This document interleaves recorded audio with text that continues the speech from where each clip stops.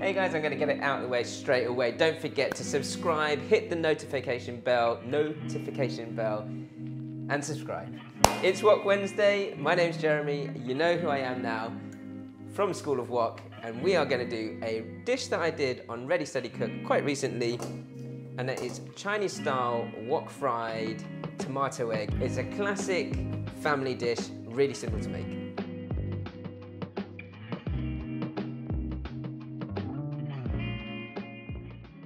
It's really, really easy cooking this.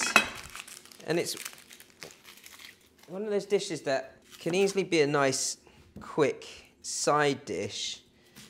Or if you're cooking for kids and you know that they like this, the scrambled egg and things like that, then it works really well.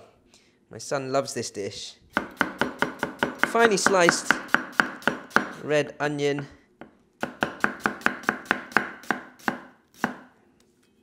Half will do just setting up my wok clock on my dish that I'm going to serve up on. So my wok clock, if you don't know, and if you're new to the channel, is a round plate starting at 12 o'clock with my first ingredient. So I've got my onion. I'm going to put a little bit of spring onion into this as well. Just nice chunks of spring onion, like so. And then I've got some tomato, because it is tomato egg, and they can just go in wedges.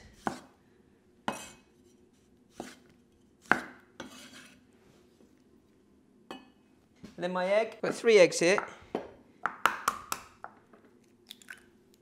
And there's a real technique to cooking omelette in a wok. It's one of those things, it's kind of like in French cooking, if you start your cooking journey, learning to make the perfect omelette is where you always start, in a skillet pan. Very, very similar in Chinese cooking. If you know how to make a good, what have I put in there? Put.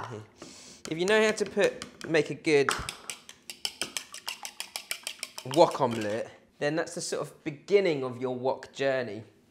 I'm gonna put a small amount of light soy, and this is optional, but I've seasoned this with a little bit light soy sauce and some sesame oil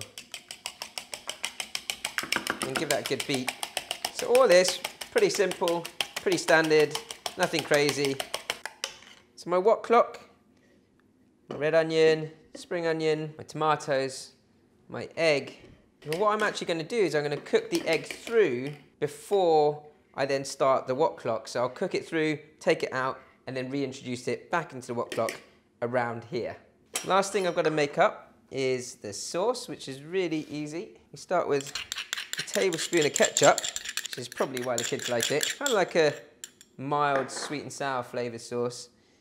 Tablespoon of rice vinegar or white wine vinegar if you can't find rice vinegar. And then a, tablespoon of sugar. And then half a tablespoon of light and dark soy.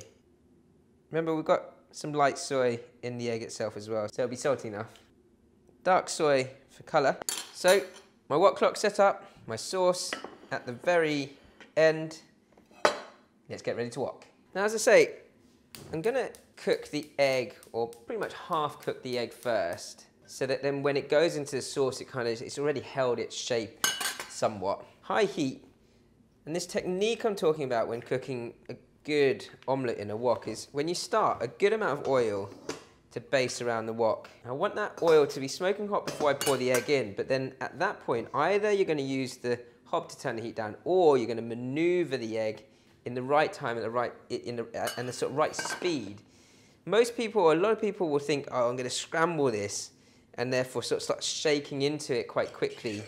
You don't want to go too sort of vigorously with your egg, rather just sort of pushing through it, and I'll show you that as we go. This high heat at the beginning is really important because you want it to bubble up straight away. My wok smoking hot. My oil will smoke about five seconds after. And then at this point, your egg goes in. And you can see that bubbling up. Once it bubbles up, push into it. Sort of every two to three seconds. And that means that it will sort of almost create these sort of wisps of egg or layers of egg into that omelette that you're making, but you don't want to go too quickly because otherwise the egg will stick to the bottom of the wok. So staying on a high heat and just maneuvering that omelette around so it doesn't burn even on that high heat, but at the right sort of speed. Once my egg is just over half cooked, then you want to take that out of the wok. And you can see that my wok is still completely clean. That's how quick you can cook an omelette in a wok. But that's half cooked and then ready to go in with the rest of the ingredients. From here, really, really easy. My wok clock of ingredients, just a little drizzle of oil, ready for my onions to start. Onions can go in. One stray little spring onion there, but I don't mind. High heat, smoking hot, break up those onions. You don't want them to sort of wilt too much. Just cooking out that rawness.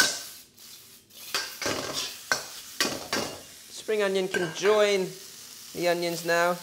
And if you want to get so that essence of spring onion out, if you feel like your wok is a little dry, just a drizzle of oil around is fine.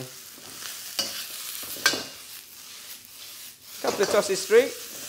Keep that on a nice high heat, and especially before your tomatoes go into your wok, because all I want to do is I want to sear those tomatoes so that you get a slight charring around the outside of them, but they keep their juice in for the first 30 seconds or so. Push that to the back. Bring the wok to a really high heat now. And then, as I say, we're going to sear your tomatoes. Make sure that that oil gets really, really smoking hot before you put your tomatoes in. Smoking hot tomatoes. Good sizzling sound there. Try and flick them over if you can so that the skin goes into the wok and sears nicely and get that, gets that sort of charring effect. Bring the veg over the top. My egg's going to go back in now, over the top, so it doesn't burn, and then my sauce is going to cook this through incredibly quickly. Sauce round the edge of the wok. You can start to break your egg up a little here. Flick that through. Whoa, look at that.